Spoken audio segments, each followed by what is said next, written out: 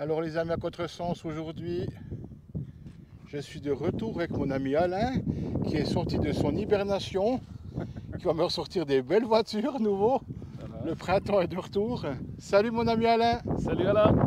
Alors aujourd'hui, bah, quand je t'ai vu tout à l'heure, je t'ai dit oh une GTV. Non, c'est pas une GTV. C'est une GT Junior. Une GT Junior, voilà. 1600. 1600. Voilà. Donc euh, que tu comprennes bien, ça ressemble à une GTV. une GTV. Elle a l'avant de la GTV. Parce que vu que c'est une 75, ils ont fait en 74 et 75, c'est les, deux derni- c'est les dernières années, avec l'avant d'une 2000 GTV. L'avant et le tableau de bord et les sièges. Tout ça, c'est d'une 2000 GTV d'origine, hein, donc. hein, pas, oui. Hein. Ça n'a pas été modifié. Voilà. Et tu me disais l'arrière par contre est différent. Bon, alors l'arrière est comme les vieilles 1600 G- GT Junior. C'est les petits phares, c'est pas les grands phares. Voilà. Voilà. Et on avait quoi comme poids puissance Alors il y avait à peu près 110 chevaux à l'époque pour une 1600, ce qui est pas mal. Hein C'était bien pour l'époque. hein. Ah ouais. Donc c'est un petit moteur de 1600 double rabat en tête avec deux doubles Weber, D'accord. ce qui est aussi pas mal pour Mhm. l'époque. Ah hein. ouais.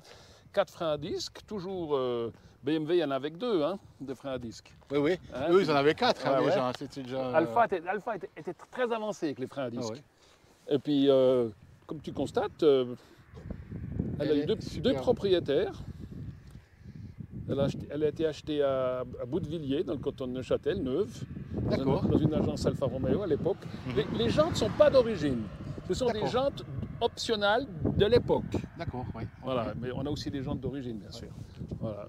Et puis pour les gens qui ne connaissent pas, c'est quoi ce sigle à l'arrière, ce petit serpent, si on veut bien?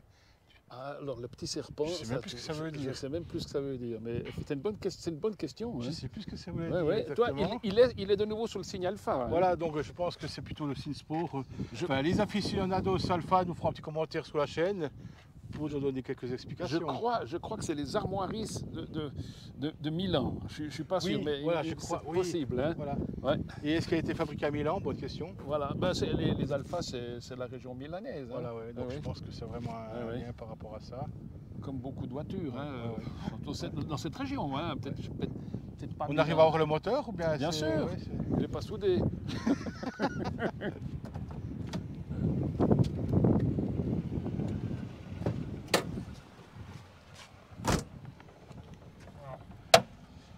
vais te mettre la petite. euh, La petite barrette. voilà.